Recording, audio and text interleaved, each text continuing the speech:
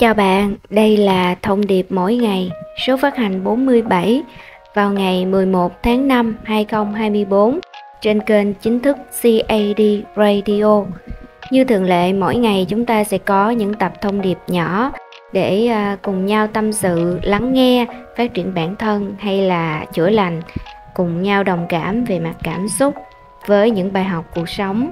Và hôm nay chủ đề chính là bạn có biết bạn là một phần trong lịch sử của nhân loại. Như một lần tôi đọc trong cuốn Nhà giả kim có đề cập đến, dù muốn dù không, bạn cũng là một phần của lịch sử nhân loại. Tại sao lại có chủ đề này? Bởi vì à, đây là một cái việc nó thường xuyên xảy ra trong cuộc sống của tôi. À, hôm trước á, tôi có nói với các bạn là đã có dịp ghé lên à, thành phố Hồ Chí Minh để tham dự một cái buổi hội sách văn hóa đọc vào ờ, ngày 19 tháng 4 tại quận Tân Phú.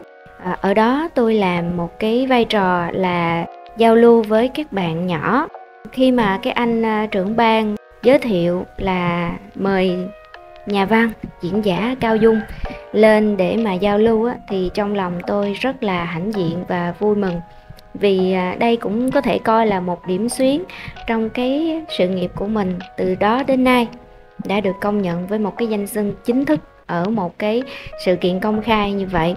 Thì vui lắm các bạn. Và hôm đó các bạn nhỏ đã hỏi tôi rất là nhiều câu hỏi. Có những cái câu hỏi thú vị mà đáng lý ra người lớn người ta mới hỏi mà các bạn nhỏ đã tìm hiểu rồi. Đủ có thể thấy là cái thế hệ mầm non tương lai của chúng ta rất là có hy vọng nha các bạn nhỏ hỏi những cái câu như là giữa đam mê và chén cơm thì mình nên chọn cái nào nè? Rồi có phải viết vì tiền không? Nếu viết vì tiền thì có thành công được không? À, rồi nếu mà lúc bị à, bí ý thì viết như thế nào mới được? À, rồi à, mỗi một cái tác phẩm bao nhiêu chữ vân vân. Đó những cái câu hỏi rất là thiết thực và nó đầy tính ứng dụng thực tế cao luôn khi mà tôi đã giải đáp cho các bạn nhiều rồi và kết thúc buổi lễ rồi á, thì à, cũng không có bạn nào tìm ra facebook tôi hết.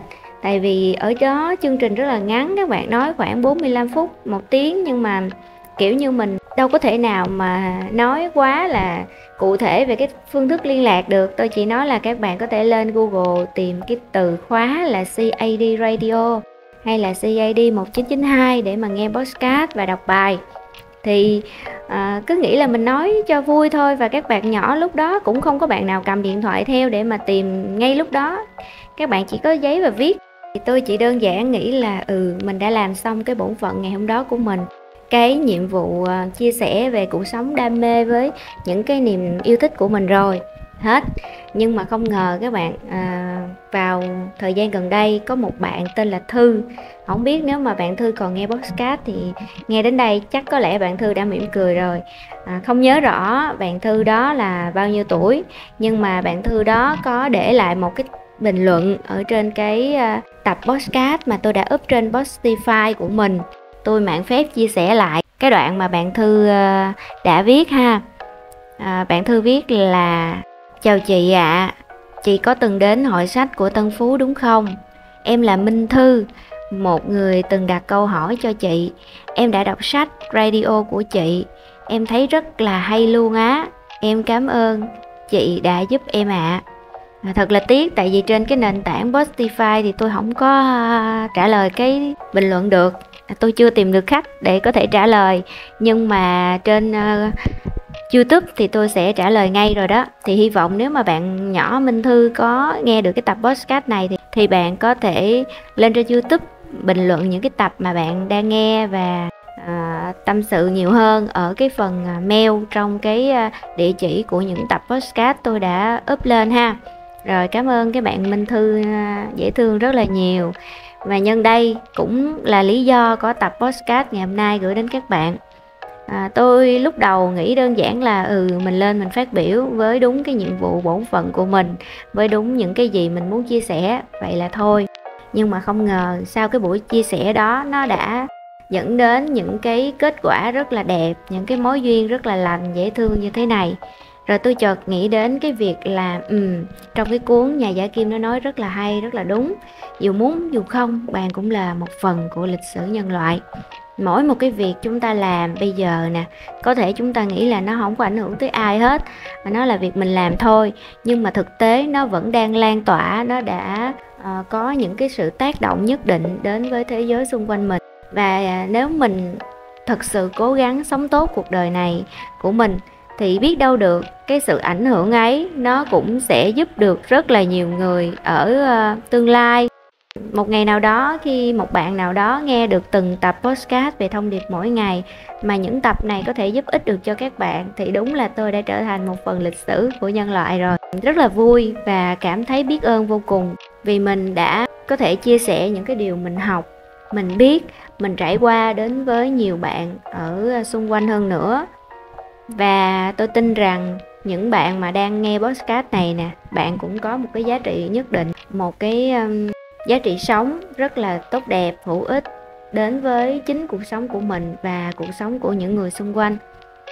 Và đừng bỏ cuộc, hãy tiếp tục sống, hãy tiếp tục cố gắng, hãy tiếp tục lắng nghe bản thân mình và làm những cái chuyện tốt đẹp hơn cho cuộc sống của mình thôi.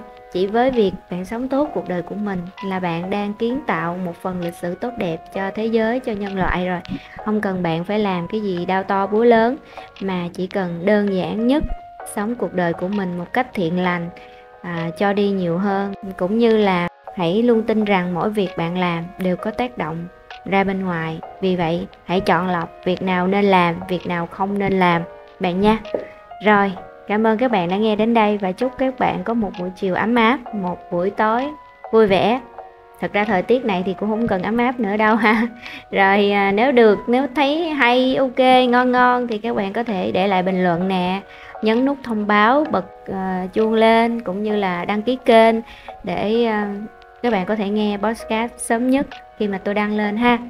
Tôi rất thích đọc bình luận của các bạn. Thật tiếc vì uh, những bình luận mà tôi không có thể hồi đáp được thì hy vọng các bạn có thể bình luận trên youtube là nơi tôi hoạt động nhiều hơn để cho chúng ta có thể giao lưu với nhau.